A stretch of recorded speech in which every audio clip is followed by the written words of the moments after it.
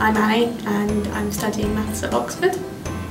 Um, I'm doing an internship here at SciSys. From actually the year that I'm about to go into, I can start taking some computer science options, but up until now I haven't been able to. I also like maths is logical, programming is logical, so they go quite well together.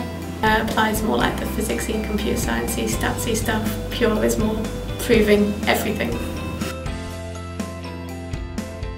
Was a careers fair at uni. And yeah, I just went up to their store and talked to them. It sounded cool, so I applied. For this internship, I've been living in Chippenham. I don't know, it's just generally like, because I'm not doing computer science degree, the best thing so far is just been getting to actually learn so much more about programming and how to do it, because everything, most, like, almost everything I've been given so far has been programming.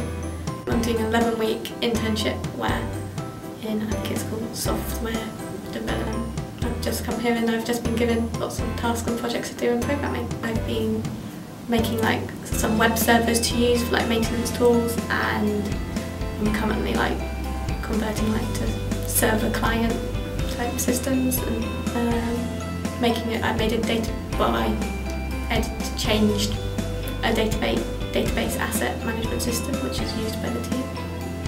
I'd say the most unexpected bit was just kind of when I first started when it was just like oh, here's this huge bit of programming code which has already been made.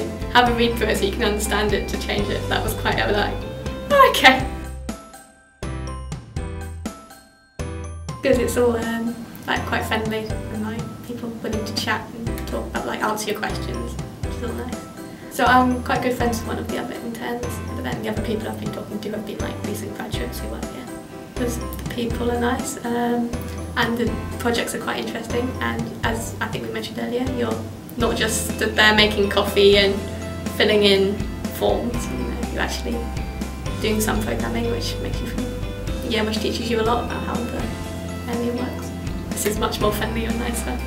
Yeah I've actually learned like how to actually program which I think will help me quite a lot with. It's definitely taught me what like an office job is like which is quite useful to know seeing as that's probably what I'm going to be working in in the future.